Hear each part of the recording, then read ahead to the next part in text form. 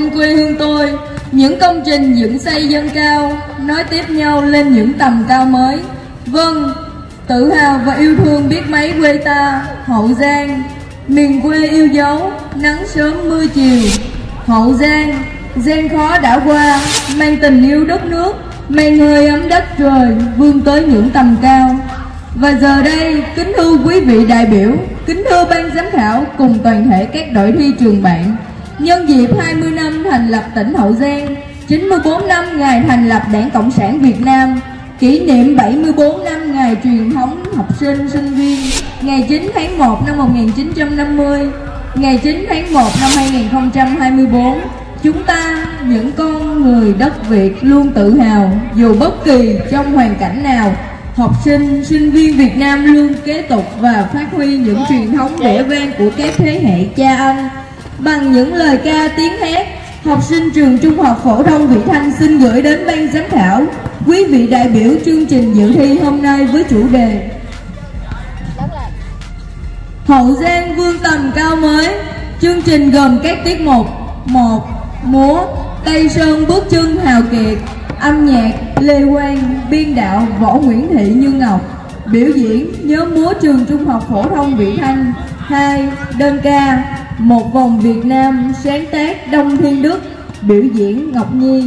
Ba sông ca Nam Vị Thanh thành phố tôi yêu sáng tác Vĩnh Phúc, biểu diễn Thành Đạt Văn Tới. 4. Ca múa Hậu Giang những tầm cao mới sáng tác Lê Nghiệp, biểu diễn Tết ca múa trường Trung học phổ thông Vị Thanh. Và sau đây, chương trình dự thi của trường Trung học phổ thông Vị Thanh xin được phép bắt đầu để chung ngủ ở đây một đêm. Ngày mai, ta, nguyễn huệ, xin thề sẽ giết sạch sẽ lũ chúng. Lấy máu giặc tẩy sơn hà, lấy đầu giặc tế thần minh. Chúng ta không chỉ đánh thật mạnh, mà phải đánh đến chân động sơn lâm, đánh cho quỷ thần khắp hải. Đến ngàn năm sau, giặc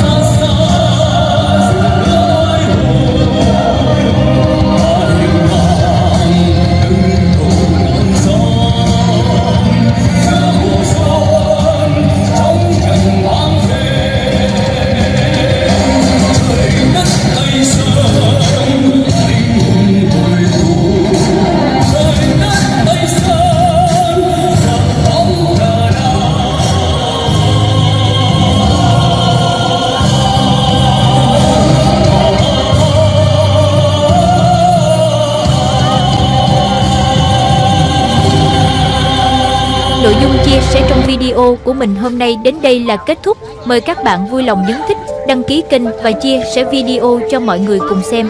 Thân ái chào các bạn, hẹn gặp lại các bạn trong những video tiếp theo.